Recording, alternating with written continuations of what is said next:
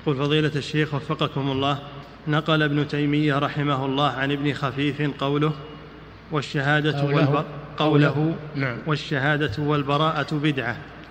هذا يبياتي الشهادة والبراءة يعني ما نشهد لمعين بالجنة ولا نبريه من من النار إلا بدليل. هذا سبق لكم وتكرر عليكم تعرفونه أنه ما يشهد لمعين بجنة ولا نار. وإنما هذا إلى الله جل وعلا لكن نحن نحسن الظن بالمسلم ونرجو له الخير ونسيء الظن بغير المسلم ونخاف عليه من النار. نعم. قل وهل المقصود بهذا ما يعتقده الشيعة الشهادة لأهل البيت عموما بالجنة وأن البراءة اعتقاد الشيعة البراءة من الصحابة إلا ثلاثة أو إلا سبعة؟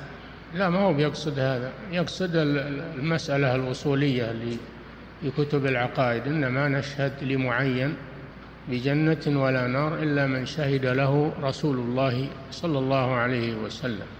أما البراءة عند الشيعة اللي يطالبون بها في الوقت الأخير في الحج تبين أنهم يقصدون البراءة من أهل السنة لأن أهل السنة عندهم كفار يسمونهم المشركين.